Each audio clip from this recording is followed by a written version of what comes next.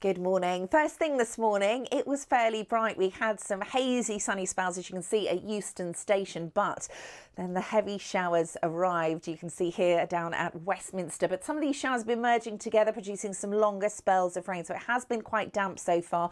The rain pushing away slowly southwards this afternoon, leaving it drier with some sunshine by the end of the day. A northwesterly breeze and temperatures reaching 10 or 11 Celsius. Now, overnight with the showers and the cloud gone, we have clear skies. It is going to be quite a chilly night. The wind a little lighter too, with the minimum temperature dropping down to one Celsius. Chances are we might just get a frost first thing tomorrow morning, especially away from central London. So a cold, crisp, bright start to Saturday. There's plenty of sunshine around through tomorrow. We're looking at temperatures very similar, around 10 or 11 Celsius, maybe a little bit of patchy cloud, that northwesterly flow there.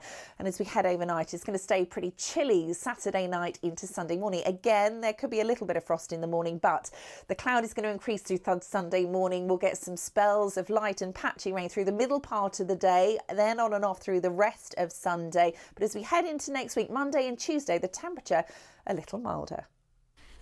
Well, that's it this lunch.